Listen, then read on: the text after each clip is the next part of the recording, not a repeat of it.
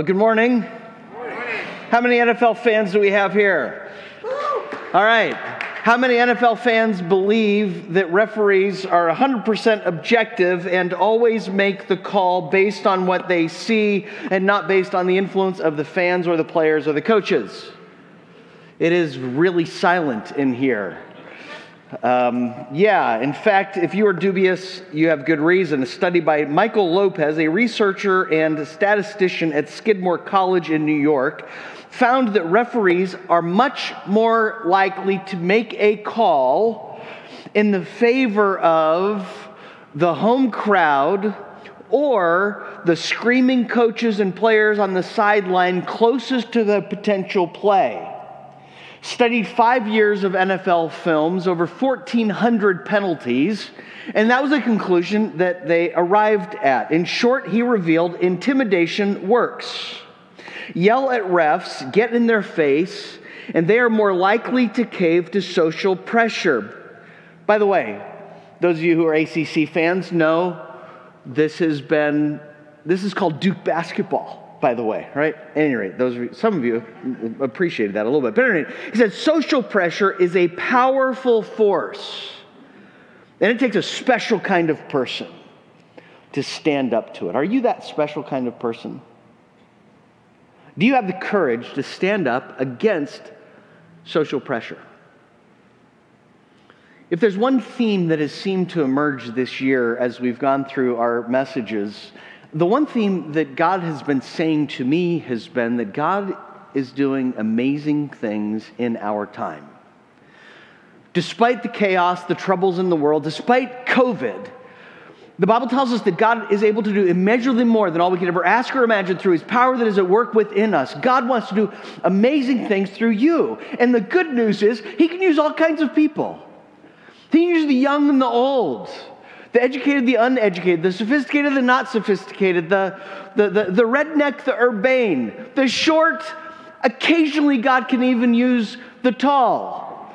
Sometimes He can even use cat lovers, I've heard, okay? Occasionally. That, but if there's one group that God cannot use, it is those who crumble under social pressure. It's those who run it's those who lack courage. But the Bible tells us in 1 Timothy chapter 1 verse 7 that God has not given us a spirit of fear or timidity, but a spirit of power and of love and a sound mind or sound judgment. That is why one of Jesus' most frequent commands in the Bible, one of the most frequent commands is do not be afraid. Have courage. John chapter 16 verse 35, Jesus says to them, I have told you these things so that in me that you, you may have peace.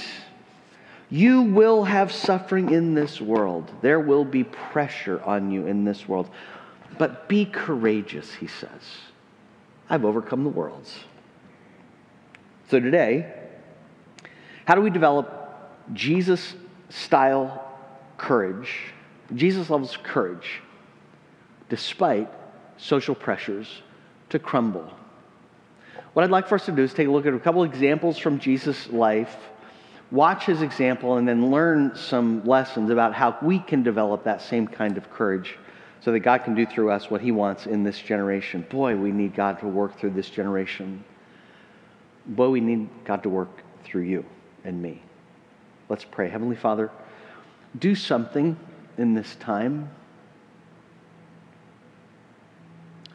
Speak to us, change hearts, break through defenses, break through denials,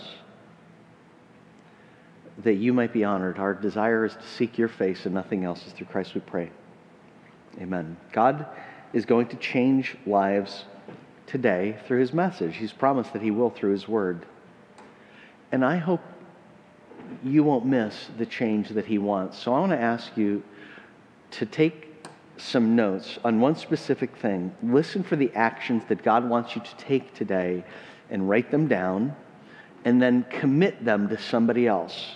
You can send them to us if you want, but better yet, your small group or somebody you're accountable to, you say, hey, this is what the action I'm committed to, and, and then tell them what you do and share with them what God does. Dale Carnegie said, Inaction breeds doubt and fear. Inaction breeds doubt and fear. In other words, if you listen to this message and don't do anything, you'll actually increase your trepidation, your lack of courage. Action breeds confidence and courage. If you want to conquer fear, do not sit home and think about it. Go out and get busy. So let's go out and get busy and be like Jesus. First example we see of Jesus is that Jesus had courage under pressure to stand despite the pressure to conform. Luke chapter 5, verse 33 says that some opponents came to Jesus and said, John's disciples fast often and say prayers, and those of the Pharisees do the same, but yours eat and drink. Now, I'm not quite sure the last time you got into a major conflict over fasting. My guess is it's probably been a week or two. But it tells you something about the importance of fasting in those days that the religious leaders were calling Jesus on the carpet because he and his disciples were not conforming to their standards of fasting. See, while the Old Testament explicitly commanded one day of fasting, Day of Atonement, and there were other days that could be called. The modern day religious people of Jesus' day, the leaders, the Pharisees, had turned it into a legalistic thing, where in the Old Testament, the purpose of fasting is to help us draw closer to God. They had turned it into a virtue signaling, a way to demonstrate how superior they are spiritually. Um, and so they were pressuring Jesus to conform to this as well. Jesus uh, gave an example of this kind of approach to fasting and prayer in Luke chapter 18, where he told the story of a Pharisee and a tax collector going to the temple. He said that the, the, the Pharisee prayed like this to himself, about himself. I think that's kind of funny.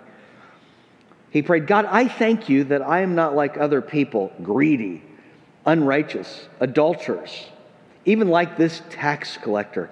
I fast twice a week. See, they didn't fast just once a year or occasionally when it was called. Every Monday, every Thursday, they fasted. And I give a tenth of everything I get. You notice the I language there? He's not praying to God, he's praying about himself. I, I, I. I thank you, God. You know, I'm like this. Second thing, notice the boundary markers. Sociologists define boundary markers as highly visible, relatively superficial practices that allow people to distinguish who is inside and who is outside the camp. Boundary markers are, spirit, are, are virtue signaling. Things that people say, things that we people do, relatively superficial. They don't actually demand character or change or sacrifice, relatively superficial. But by signaling this, they are signaling, I am part of the cool kids and you are not. God, I thank you that I'm not like those other people, those adulterers, those people that don't tithe, those people that don't fast twice a week. It's not about, they've lost the whole point of tithing and fasting, which is to get closer to God, and have turned it into spiritual junior high. You know, virtue signaling. I'm on the inside. This is the core of Jesus' confrontation with the religious leaders here in John chapter 5. It's not really about fasting, it's about who sets the rules and why do they exist. Do the Pharisees set the rules or does God set the rules? Does Jesus? Are rules personal? This is my truth. Is it societal? This is what society says, the religious society says you ought to do to be cool. Or are we standing firm on what the Bible says, on what God has said about things like fasting? Jesus isn't violating any of God's laws on fasting. And it takes courage to stand on God's truth when the world would tell you to conform to society standards. I think of a seamstress, a member of the Dexter Avenue Baptist Church, a Christ follower, who understood the truth of God that all people are created in the image of God. She understood that there is no such thing as race says, that race says are a creation of human being. There's one race, the human race. We all bleed red. We're all made in the image of God. We are all equal in God's sight and valuable in God's sight because of bearing his image. She understood the evil nature of dividing people by externals. And so, on a December morning, 1955, when a bus driver asked her to move, she stood her ground. The bus driver asked her to take a different seat because there was a white person that wanted that seat. She would not budge. That next Monday night, 10,000 followers of Christ gathered together in a church to pray God, what do you want us to do next? God, what does it mean for us to stand for your truth in love when the world tells us to move, to conform? And Rosa Parks ignited a revolution, all because a mild mannered, soft spoken Christ follower seamstress stood with Christ when it was unpopular. When the world would say, conform.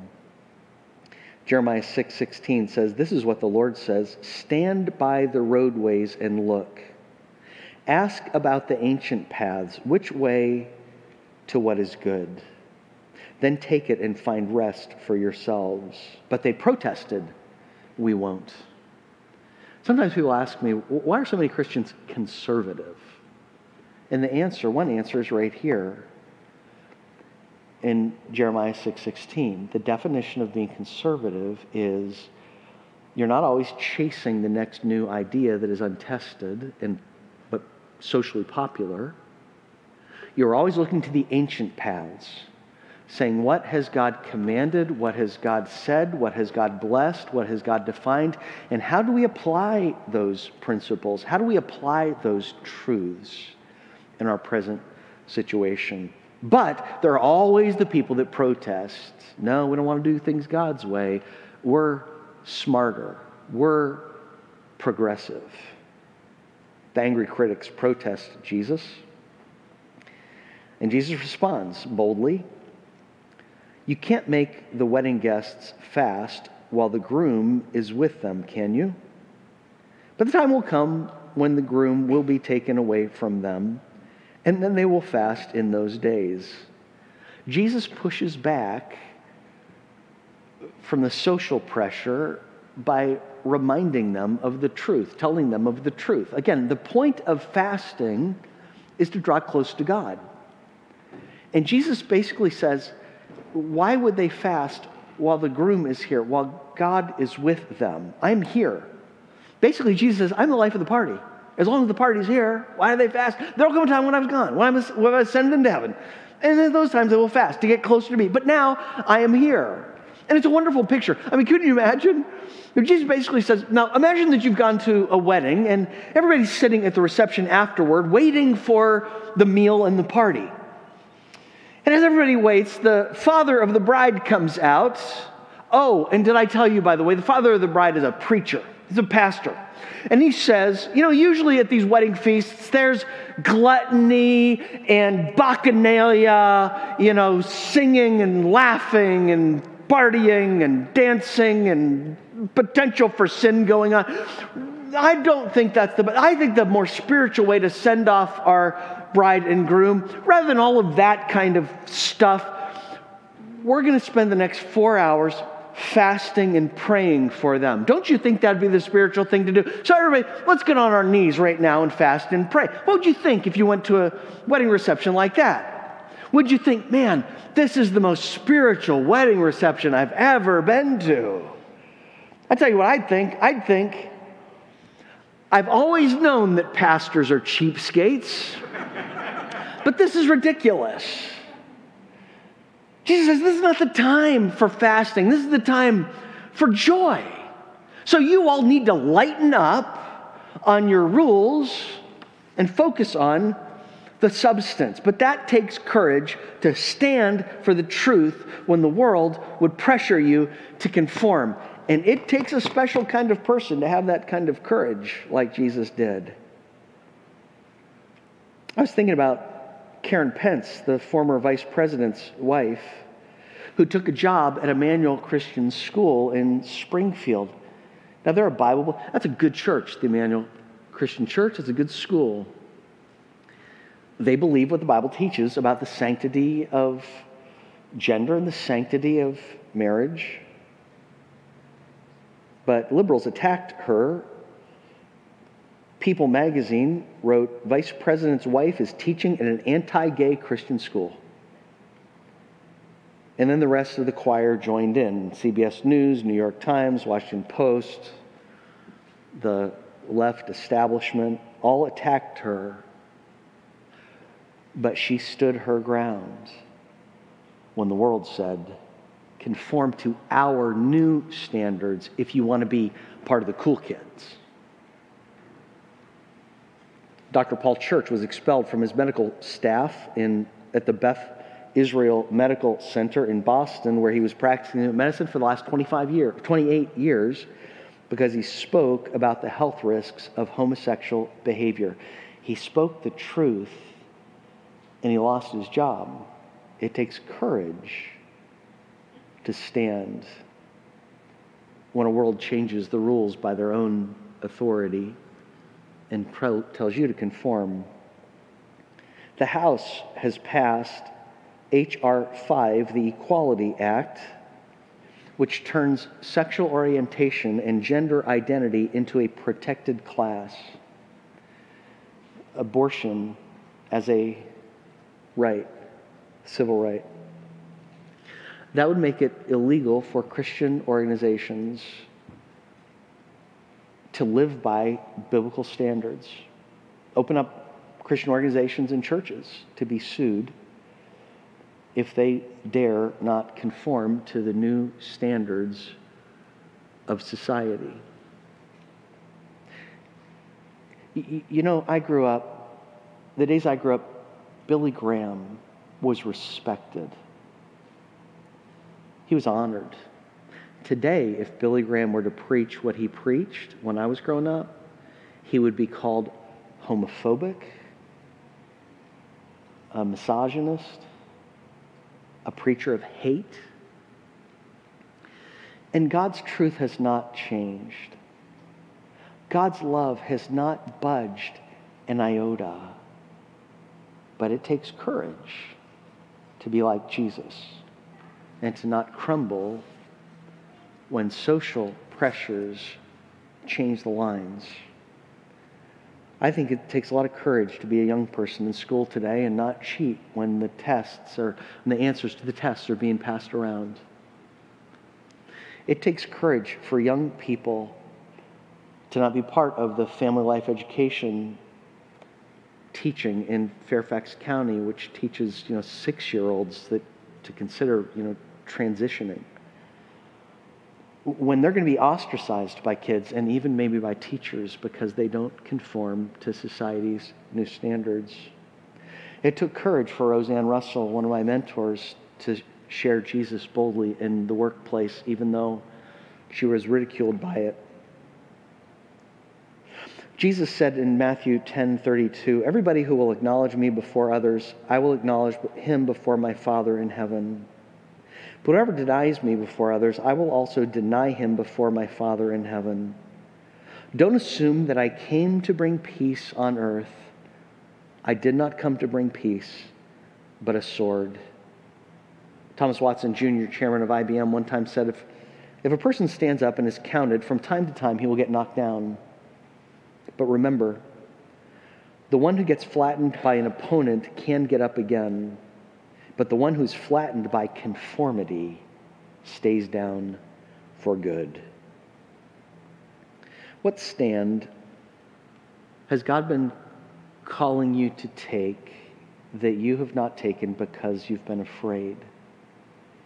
Is there anything that you know that God has been wanting you to say that you have not said because you've lacked the fear it takes a special person not to give in when the crowds are screaming against you. But Jesus was that kind of person. He stood for truth, God's truth and love, when the world said conform. It also takes courage to be flexible and gracious when the world is rigid and inflexible. Verse 36. Jesus told them this parable No one tears a patch from a new garment and then puts it on an old garment. Otherwise, uh, not only will he tear the new, but also the piece from the new garment will not match the old. You don't put a new unwashed garment patch on an old garment because when the whole thing gets washed, not only won't the two match up, but the, the, the new will shrink and you'll have a hole and it'll be a mess. The second parable is like it, verse 37. And nobody puts, nobody puts new wine into old wineskins. Otherwise, the new wine will burst the skins and it will spill out and the skins will be ruined. No, you put fre- new wine into fresh wineskins. See, back in, in old times, they would put new wine in new leather bottles. And then when the wine, new wine would ferment and the gases would cause it to expand, the new leather bottles would expand with it. But if you would put new wine in old wineskins, the old wineskins over time would grow uh, brittle and easily break. And so you put new wine in old wineskins, the wineskins can't expand, they break, all the wine spills out. Jesus is saying to them, I have come to be new wine for new wineskins. The old wineskins were good wineskins. The old law was good for the reason God gave it. Understand, the Bible never says that the Old Testament law is bad. It accomplished all that God wanted it to accomplish. It communicated God's character. It communicated what is loving and what's not loving, what's good and what's evil, so we're not having to hunch it. It established the nation of Israel as with national laws. It established the worship of Israel with worship laws. It shows us, it prepares us for Christ, the Messiah. It shows us just how much we sin and how much we need a Savior. The old wineskins were really good to accomplish what God wanted them to accomplish, but over time, not only are they not ready for the fulfillment of the law in Jesus Christ, but the Pharisees have made the laws brittle, inflexible. For instance, the Old Testament, the Bible says, remember the Sabbath and keep it holy. And then there are a couple of other laws that clarify what it means to keep the Sabbath holy, not to do work on the Sabbath. That wasn't enough for the religious leaders. Over time, they needed more clarity. They needed more details. And so they came up with more details 39 categories of Sabbath laws with hundreds of specific laws under them. When Jesus is accused of breaking Sabbath laws, he never breaks the Old Testament Sabbath laws. He's always violating one of these hundreds of made up, man made laws. Again, see the common nature here. Whose rules are we following? Whose law do we follow? Who's Who's defining what's good and evil? Is it God or is it society? Is it my personal truth? Jesus never violates God's truth. We see this example then in Jesus' life in verse 1 of chapter 6. On Sabbath, Jesus passed through the grain fields, and his disciples were picking heads of grain, rubbing them in their hands and eating them. But some of the Pharisees said, Why are you doing what is not lawful on the Sabbath?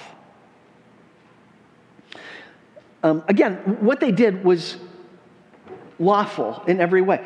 They weren't upset, by the way. The Pharisees weren't upset because they were picking grain. Gleaning laws are legal in Israel to this day. They were upset because the day on which they were doing, that they t- picked grain and rubbed them in their fingers and ate them. And because of that, they accused the followers of Jesus of breaking the Sabbath laws that you can't make a meal during Sabbath. That's making a meal during Sabbath? Not according to the Old Testament, but according to their made up marker, uh, uh, boundary markers. So they said, Why are your followers doing what's not lawful on the Sabbath? You know, legalists are miserable people. You ever notice that? H.L. Mencken had a great definition for, for, for Puritanism. He said, Puritanism is the haunting fear that someone, somewhere, might be having a good time. It's kind of like the world that we're starting to live in today. I, I heard about one cult that by the time it ended, they had like six members. They had six members, But, but you know what? One of their laws was total abstinence. All sex is bad. Kind of makes you wonder why nobody wanted to be a part of that cult, doesn't it? And why they couldn't go on very Pharisees were just that inflexible and that just that miserable. But Jesus courageously responds to their inflexibility and their lack of graciousness by giving them a Sabbath history lesson. Verse again, he returns them to the Bible. Verse 3. He said, Haven't you read what David and those who were with him did when he was hungry? How he entered the house of God and took and ate the bread of the presence, which is not lawful for any but the priests to eat? He even gave some to those who are with them. They're foisted on their own petard. Jesus says, don't you remember David? See, David is one of their heroes. David is the one who envisions the temple. David is the one, when the Messiah comes, he will reign on David's throne. David is the great one who's, you know, close to the heart of God.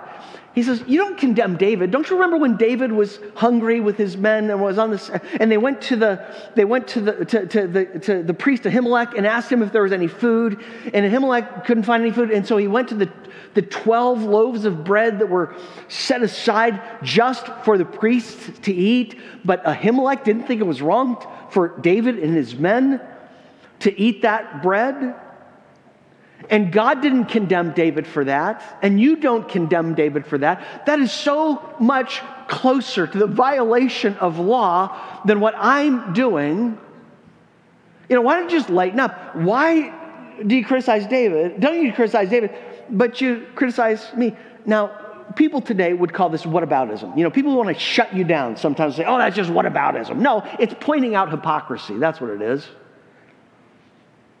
Jesus showed great courage in verse 5 when he went on to say, Oh, and by the way, the Son of Man is Lord of the Sabbath. Do you understand what he's saying? First of all, he's claiming to be the Son of Man, that one prophesied by Ezekiel and Daniel. And then he said, I'm the Lord of the Sabbath. I made the Sabbath. I wrote the rules of Sabbath. If anybody ought to know what is inside and outside Sabbath restrictions, the writer of the Sabbath laws should know that. So you all ought to lighten up. New wines, new wineskins, listen to me. It takes courage to be flexible when the world's around you, when the culture puts the pressure on you to be harsh and intolerant. You know, I, I used to have to preach this message to Christians, and I still do some. But you know, we live in times when our world around us is increasingly pressuring us to be intolerant, and it's happening fast. You know, who ever thought that Dr. Seuss books would be bad? You know? I, I, last, last service, I, you know how intolerant our world is? Last service, I said something about Dr. Seuss's books being banned because he's been taken off bookshelves. Because, you know, Loudoun County is not promoting anymore like they used to. The president, you know, took him off the list for this reading kind of thing. And because I used that, somebody on our chat was criticizing me. Oh, no, they didn't ban Dr. Seuss's book. Well, they're taking it off the shelf. So defensive for a lost world and their intolerance, missing the point. Is it really so? Here's the craziness of our world it's okay for family life education classes to teach our six, years old, six year olds to consider transitioning, but it's not okay for them. We've got to take Dr. Seuss away from them. What kind of crazy world? of intolerance do we live in? There was a time when people like to quote Voltaire, who said, I may disapprove of what you say, but I will defend to the death your right to say it. Not so much anymore. Now, people are glad if you disagree with what they believe. If you disagree with what the virtue signalers have said are virtuous, if you want to be on the inside eh, eh, part of the cool kids, it's okay for you to be banned I don't agree with a lot of what Dr. Seuss says or what he believes, but really, we can't have a little grace? Does it not concern us at all that they're taking names of George Washington and Abraham Lincoln and Thomas Jefferson off of schools? The D.C. committee has voted to remove the names of Thomas Jefferson and James Monroe and Andrew Jackson from government buildings. See, there used to be a time where we could be gracious and we could say, those people were not perfect, but I'm not perfect. But they did some good stuff too. And I hope that when I'm remembered, I'm not just remembered for the bad stuff that I do, that I can also be appreciated for the blessings that I gave. But not in an intolerant world that wants to virtue signal and say, this is how I can say I'm better than other people. Because I fast twice a week. Because I condemn those people from the past.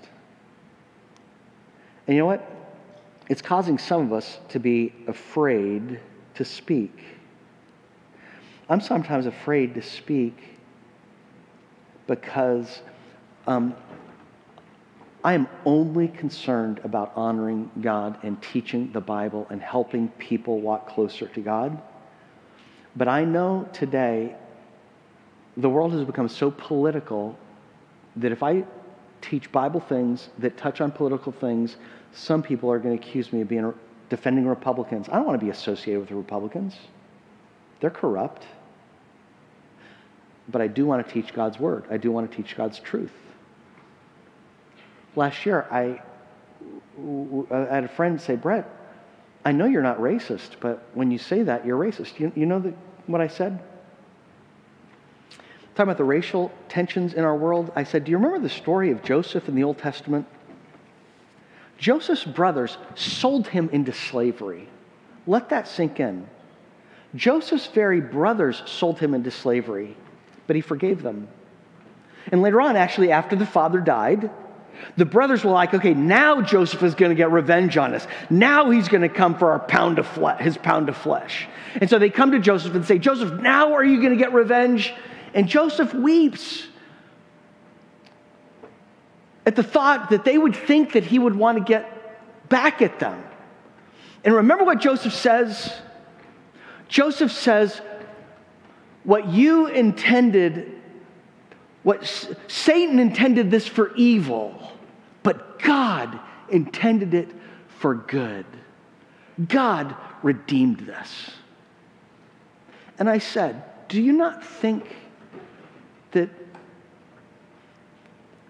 that a biblical approach to some of these things would be to say, Satan intended this for evil? It was evil what was done to slaves. It was, it was evil what was done with Jim Crow.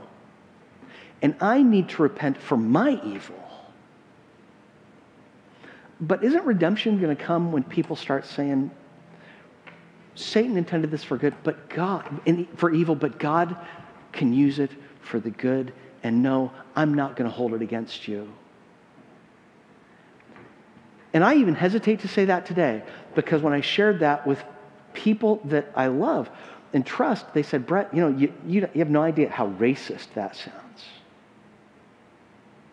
Because in a world that changes the standards and sets them up by human social standards, there's pressure to conform and be intolerant and ungracious. Well, what do we learn from Jesus' example so that we can have courage under pressure? A couple of things that I want to share with you just real quickly. Um, and in fact, I will share more of this this week in devotions. Four things we learn from Jesus' example so we can be courageous as he was courageous. The first, the first key to courage, I don't like that. The first key to courage is God's presence. Okay? Jesus said, Man, I wonder why there's that delay. Um, why is it that Jesus could be courageous? It's because he knew he was doing God's will. Jesus said, I am the good shepherd. My sheep hear my voice and they follow me. If you are out on your own, if you're acting on your own, there is no courage. But if you know you're just doing what God wants, there's courage. There was a time in the history of New Life when we were really young. There were only about two, 25 people who were part of the core of the church. We were just a couple of weeks old. And, and a woman came up to me after the service and said, Brett, you offended me today. Now, you need to understand that this woman and her husband were the only people over 30 years old, the only people, I think they were in their 40s, they were the only people that had any money that could give anything really to financially support the church and keep us going. And she came up to me and said, Brett, you offended me today. And I wasn't quite sure if she was serious or not because who has a serious conversation about being offended over school locker rooms? But anyway, school lockers, I mean, but uh, she's, okay, I said, oh, how did I offend you? She said, you let women serve communion today. And I laughed out loud because I knew she was joking. She didn't get the giggle. Okay, she was, I was laughing. She was not, she was frowning. She was not happy.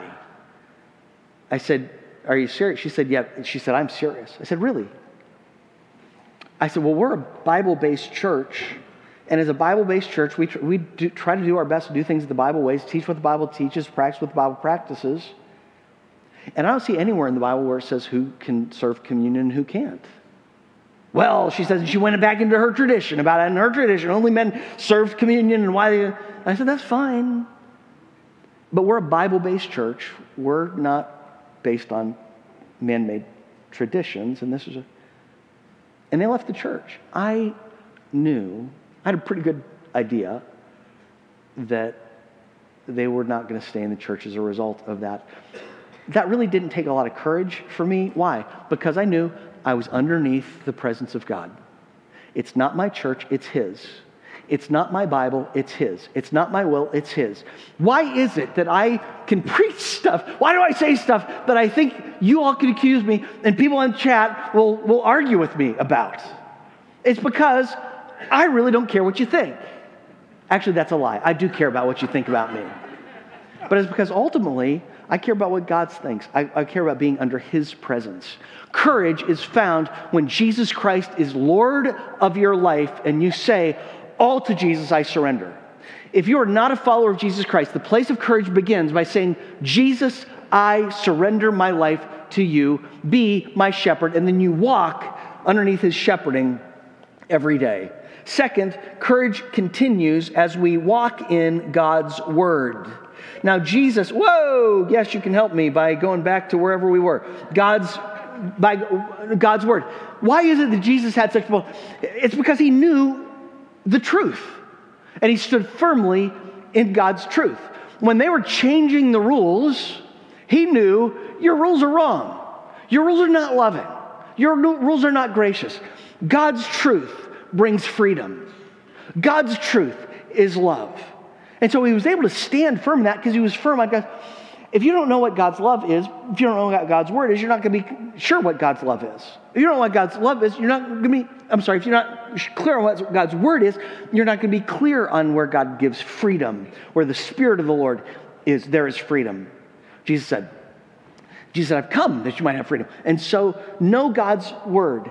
What action do you need to take this week? And who do you need to be accountable to? So that you will know God's word. Number three, know God's people.